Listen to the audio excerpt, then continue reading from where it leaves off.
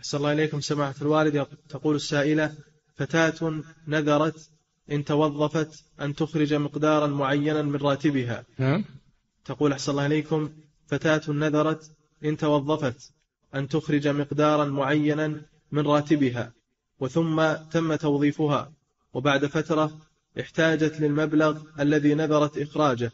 فكيف تخرج من هذا النذر بدون إثم؟ عليها أن يبقى في ذمتها النذر يبقى في ذمتها. متى ما استطاعت تخرجه لأنه دين لله عز وجل في ذمتها.